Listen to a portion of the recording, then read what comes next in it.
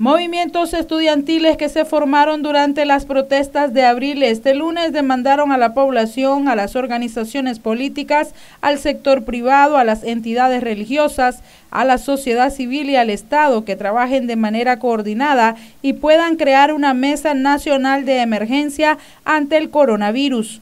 Es por ello que como jóvenes y actores pertenecientes del sector importante de la sociedad, Llamamos a todos estos sectores antes mencionados a la creación de una mesa nacional de emergencia que permita, uno, implementar a cabalidad todas las recomendaciones realizadas por la Organización Mundial de la Salud hasta la fecha.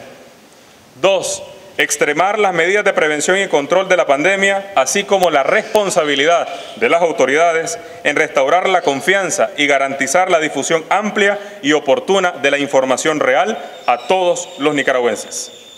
Tres, la ejecución de un mecanismo de acción conjunta que permita el fortalecimiento del sistema público y privado en conjunto la prevención y manejo suficiente de la pandemia en coordinación con los diferentes sectores, expertos y la población en general.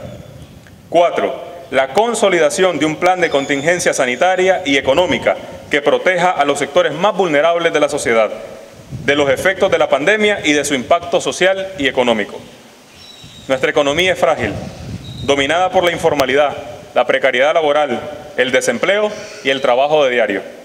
Por tanto, medidas de aislamiento social como las campañas de quédate en casa, el cierre de establecimientos comerciales, centros de trabajo, entre otras medidas sumamente necesarias, solo pueden ser soportadas por el esfuerzo de los sectores sociales, políticos, privados, entes económicos, religiosos y el Estado de forma conjunta. Vales Caballe dio lectura a un emplazamiento que realizaron a la Gran Coalición donde demandan un espacio representativo en dicha organización opositora. Los procesos de construcción de propuestas y toma de decisiones requieren nuestra plena participación como jóvenes y estudiantes, pues constituimos un sector amplio y representativo en la sociedad nicaragüense.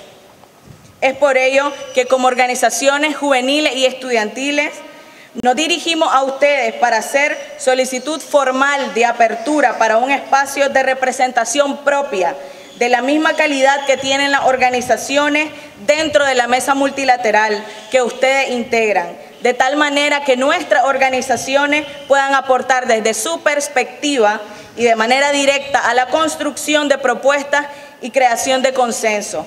Los jóvenes y estudiantes somos quienes despertamos en abril a la población nicaragüense en contra de una dictadura. Estuvimos en las calles, en las protestas. Hemos sido actores en el primer proceso de diálogo nacional desarrollado en mayo del 2018, así también como integrantes del proceso de negociación realizado el 27 de febrero del 2019.